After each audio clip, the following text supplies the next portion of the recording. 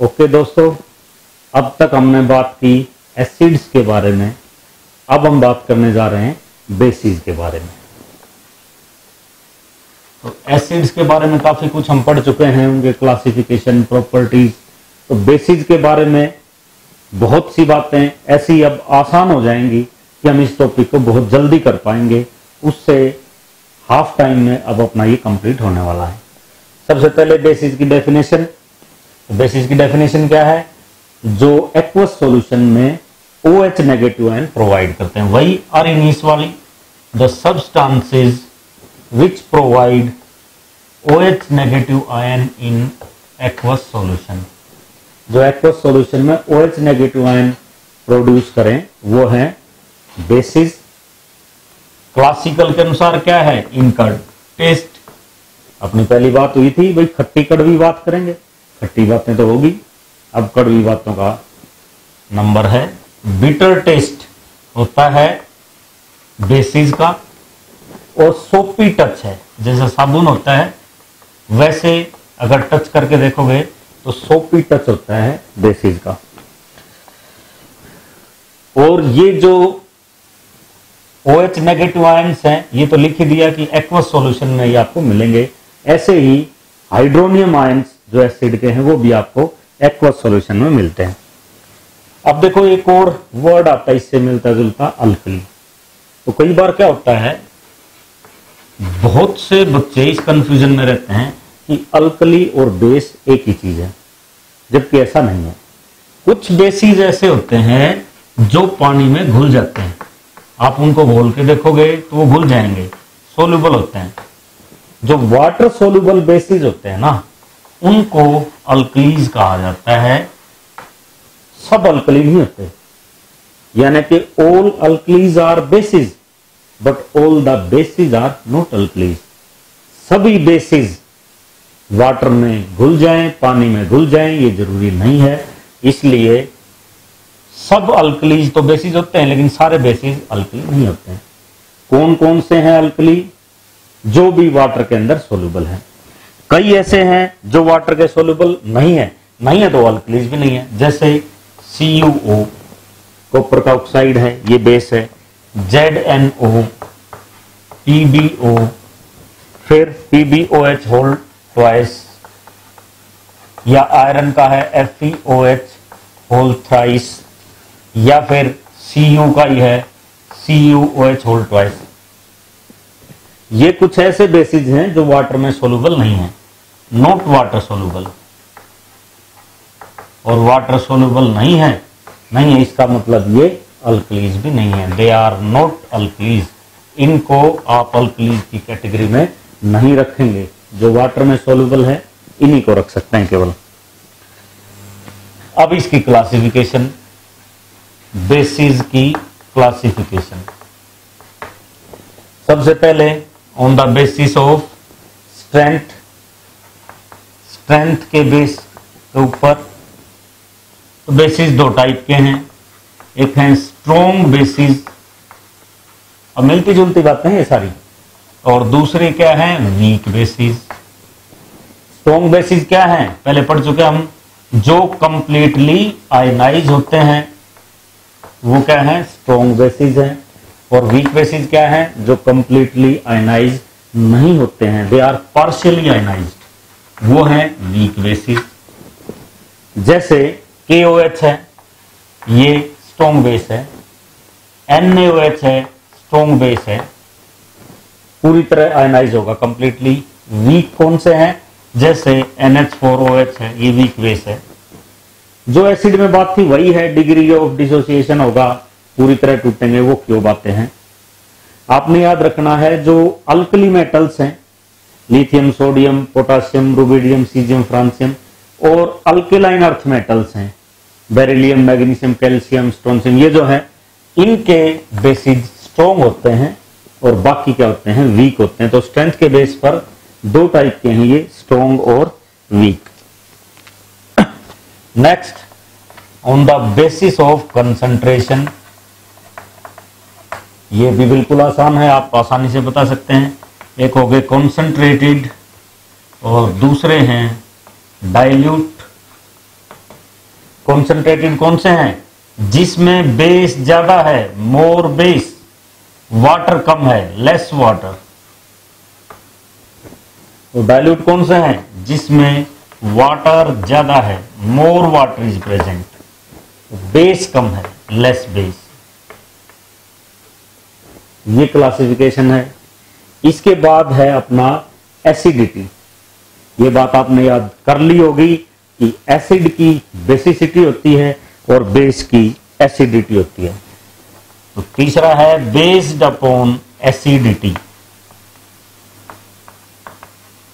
और एसिडिटी की डेफिनेशन अब क्या होगी कि कितने ओ एच नेगेटिव आयन आपको मिल रहे हैं? यानी कि number of replaceable H negative ions O H negative ions कितने रिप्लेस होते हैं? वही आपकी एसिडिटी है। तो पहले होगा, शुरू करते हैं क्लासिफिकेशन इस बेस पे। Mono acidic mono acidic means acidity is one example देख लो के ओ एच आयनाइज करो, तोड़ के देखो के पॉजिटिव ओ एच नेगेटिव कितने ओ एच नेगेटिव मिल रहे हैं आपको? वन इट मीन्स इसकी एसिडिटी है वन एन एच तोड़ के देख लो. N A positive O H negative कितने ओ एच मिल रहे हैं? एक. तो एसिडिटी क्या है इसकी? एक. दूसरा है di acidic di acidic means two O H negative आपको मिलने वाले हैं। जैसे M G O H whole twice इनको ब्रेक कर दो आप, तोड़ो। क्या बनेगा? एम जी टू पॉजिटिव और ओ एच नेगेटिव कितने आएँगे? Two so it's acidity is two इसकी एसिडिटी टू आ गई। इसी तरह C U O H whole twice इसमें भी आपके पास क्या आएगी? टू आएगी। P B O H whole twice कितनी आएगी? टू आएगी। तीसरा है tri acidic tri acidic means three है आपकी एसिडिटी इसमें। एसिडिटी इज़ थ्री तीन ओ एच नेगेटिव आपको मिलने वाला है यहाँ से। जैसे एग्जांपल है A L O H whole thrice aluminium hydro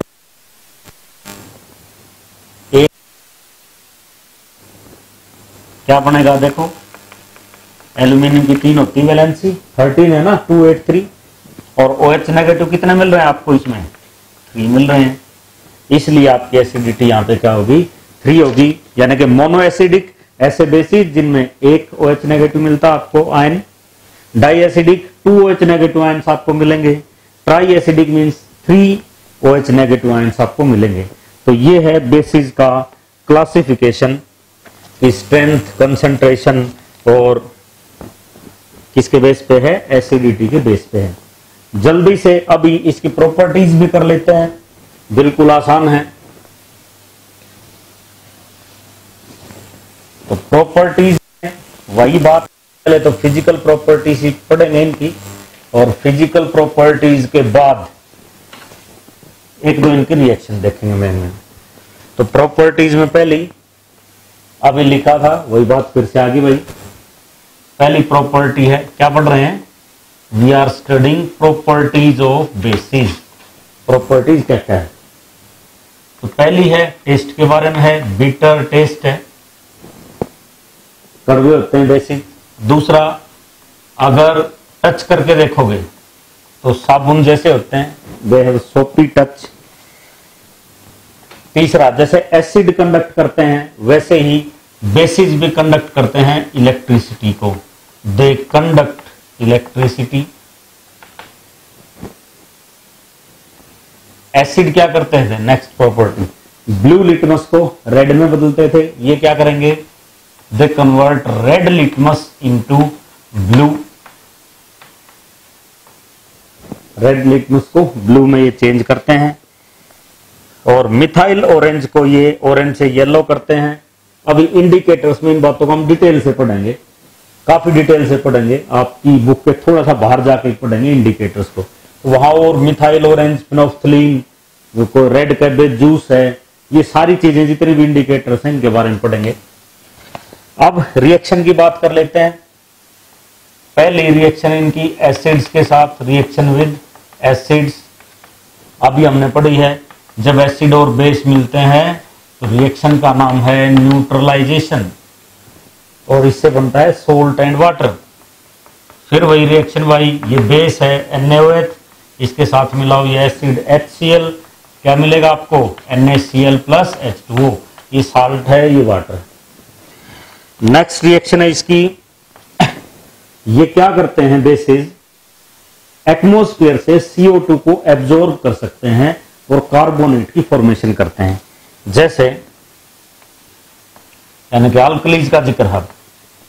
alkalis absorb CO2 ये CO2 को अपने अंदर ले लेंगे। कहाँ से आएगी? वही CO2 फ्रॉम एयर एयर से मिलेगी CO2 इनको। उसको अपने अंदर ले लेंगे और कार्बोनेट बना लेंगे।